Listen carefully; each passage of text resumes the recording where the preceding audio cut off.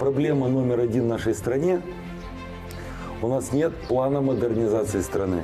Вся сельская экономика строится сегодня на том, что кто-то приезжает из-за границы заработок, куда мне ждет ансат с диски бар, шун магазин. Вот это вся сельская экономика.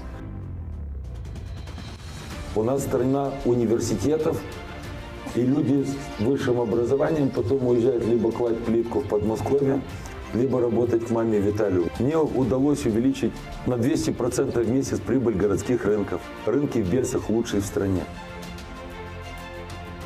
Генеральный прокурор Стояноглы вышел в прошлом году на пресс-конференцию и сказал, что больше всего сфабриковано уголовных дел было на Усатова и Примарова нашей партии.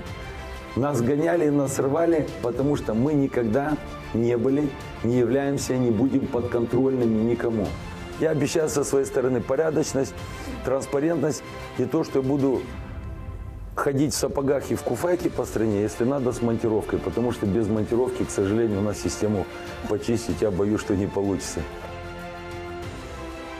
Понимаете, я каждый год платил 3-4 миллиона лей налоги как физическое лицо за то, что я оперировал детей, помогал людям. Он пунктен коду пенал. Срок заключения под стражу за коррупцию от 15 лет до пожизненного с конфискацией имущества у родственников. Я горжусь тем, что сегодня Бельская примария самая транспарентная в стране четвертый год подряд после всех проверок. Я всегда буду только слугой своего народа. Я согласен, чтобы меня ненавидели все руководители страны.